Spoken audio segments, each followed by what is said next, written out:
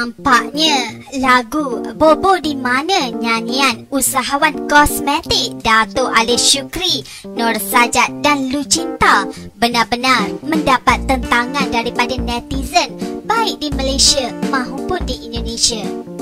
Apa yang membuatkan ramai marah bukanlah nyanyian namun klip video yang agak kurang sesuai dipertontonkan kepada ramai.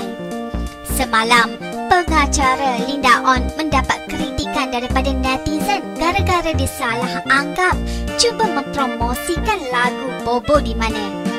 Linda yang cuba mengupas isu pengusaha kecantikan yang terjun ke bidang nyanyian di salah satu slot yang dikendalikan olehnya di Cool FM.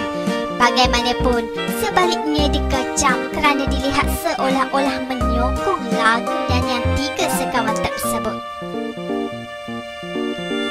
Rata-rata memberi reaksi tidak suka dan menegur Linda untuk tidak memberi sokongan kepada mereka.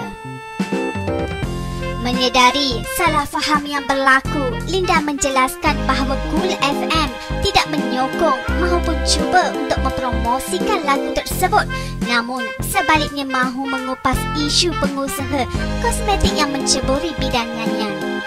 Marah betul netizen stesen radio kena lebih peka dengan